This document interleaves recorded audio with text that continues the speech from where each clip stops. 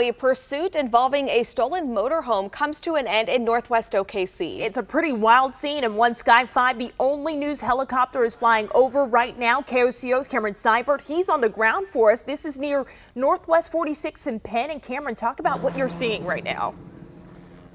Well, Kylie, it's pretty remarkable. The end of this chase here in an RV, as you can see behind us, has now gone over the side and into a drainage ditch. This is actually Smitty Park right here in Oklahoma City. You got one of the tow truck drivers getting ready to figure out how to get this thing out of here after this was stolen this morning before 5 o'clock.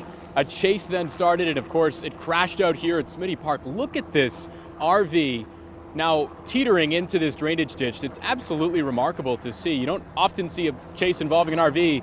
Better yet, to see it crashed out at a park uh, in a drainage ditch like this. Sky 5, of course, is over the scene. You can probably hear Chase in the helicopters. He gets some aerial video of this as well. But just a remarkable scene. The chase started on Broadway Extension before 5 o'clock this morning, around 5 o'clock this morning, I should say. Eventually ending here at Smitty Park. The driver got out on foot but was arrested. So one person taken into custody after stealing this RV, leading Oklahoma City police on a chase, and then crashing here at this drainage ditch at Smitty Park. Now a tow truck driver getting to the scene, trying to figure out how they're going to clear this because this is not something you see every day. And of course, it's absolutely remarkable. But that person is in custody this morning after this RV was stolen. A chase happens and then the crash here at Smitty Park. We're going to continue to follow this and bring you the latest information. Of course, Sky 5 is over the scene. He can give you some aerial video here, I'm sure, in just a little bit. We're in Oklahoma City this morning. Cameron Seibert, KOCO 5 News.